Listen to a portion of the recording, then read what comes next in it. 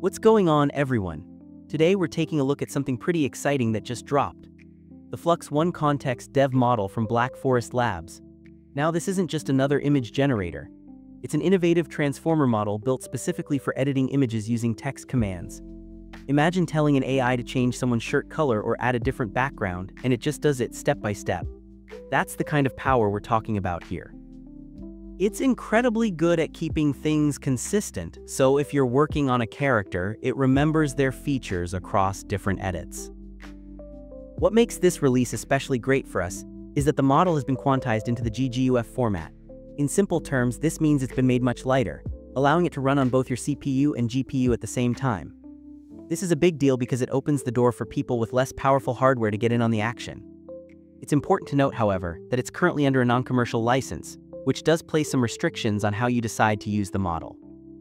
To make things as smooth as possible for you, I've put together a simple custom workflow for Comfy UI. It uses a lightweight GGUF version of the Kontext model, which means you can get some really fast generations even on lower VRAM setups. I'm running it on my 6GB RTX 4050 laptop, and it generates high-quality 768 by 768 images in just a few minutes. Plus, I've bundled in the daemon detailer and upscaler nodes to really boost the quality of your final output. You'll find a link to download the workflow down in the description. As always, I'll guide you through the complete manual setup of this new model and workflow right inside Comfy UI.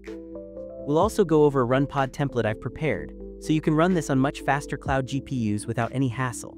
And for my Patreon supporters, I'm including a special one-click Windows installer that will download and set up everything you need automatically. You can find that over on my Patreon page. Don't forget to like and smash that subscribe button so you don't miss out on more great AI content. Alright, let's get this set up and running. If you're one of my Patreon members and you've decided to go with the one-click Windows installer, your job is incredibly simple. All you need to do is download the Flux Kontext Comfy UI batch file from my page, create a new, separate folder for this project and drop that batch file inside. Once you've done that, just double, click the file to run the installation and it will handle everything for you. It'll download and install Comfy UI, all the necessary custom nodes, and all the models, putting them exactly where they need to go within that folder. After the installer finishes its work, just start up Comfy UI. The web interface should automatically open in your default browser, usually pointing to a localhost address. All you will need to do now is load in the custom workflow from the Patreon post and you should be ready to start generating. Now, for those of you doing a manual installation, you'll obviously need a working version of Comfy UI already installed. I highly recommend you also have the Comfy UI Manager node, as it makes getting the rest of the nodes for this project a whole lot easier. If you're on Windows and starting fresh, you can grab the portable Comfy UI zip file from their official repository. This package comes with everything Comfy UI needs to run. Just extract the file and its contents using an archiver like 7-zip. To get the Comfy UI Manager, open up a command terminal, navigate into your Comfy UI directory, then into the Custom Nodes folder, and from there, you'll just git clone the Comfy UI Manager repository right into that folder.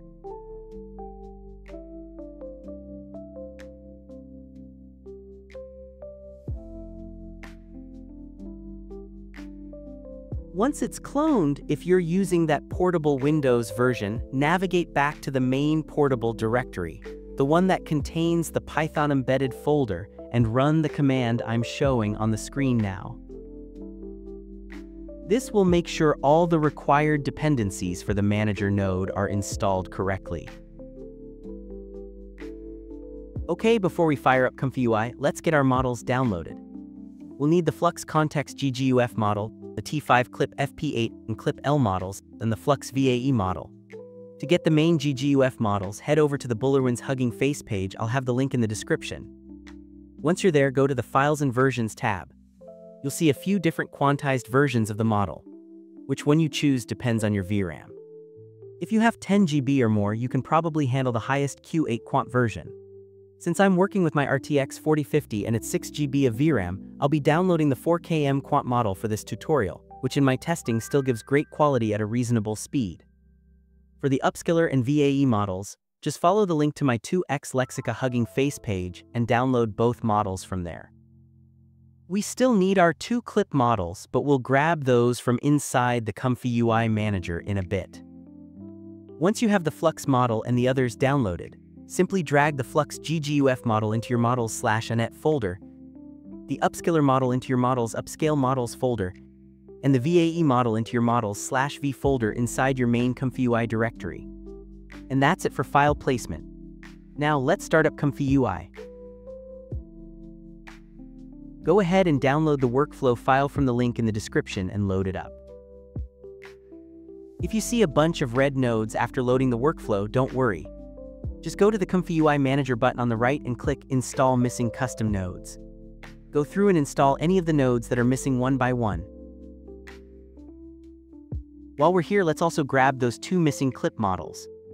In the manager, just search for clip. Find the T5XXL FP8 encoder model and the Clip L encoder model and download them both.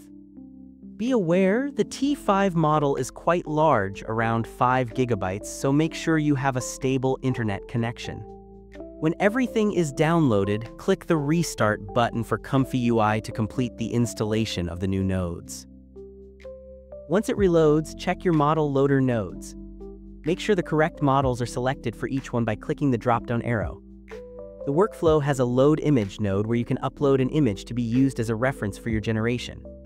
When you're writing your prompt, it's best to be very descriptive about what the subject is doing in the scene. To get the most out of this model, avoid simple prompts like a girl drawing. Instead, try something much more detailed like, the girl wearing blue cargo pants is sitting on a mossy rock in a sun-dappled forest, carefully sketching a detailed leaf in her notebook. After that, you can click the Queue prompt button to start generating. The model will try to place the subject from your reference image into the new scene you've described in your prompt. This workflow also includes the Daemon Detailer and Upscaler nodes for improved quality, but you can disable them if you want faster generations by right-clicking on the nodes and selecting Bypass. On my RTX 4050 with 6GB of VRAM, generations typically take a couple of minutes, with a few extra minutes for the detailing and upscaling steps. I've also set up a RunPod template in case you need more power to run this workflow faster. RunPod has a wide range of GPUs, from H100s and RTX 4090s to A100s, each with its own hourly rate. Just click the RunPod template link in the description. You'll need to create an account if you don't have one. From there, select a GPU, I'd recommend something with at least 24 GB of VRAM like an RTX 4090 for the best performance. You can edit the template storage if you need to. Just click Edit Template and adjust the container storage, then click Set Overrides. Once you're happy with your settings, hit Deploy.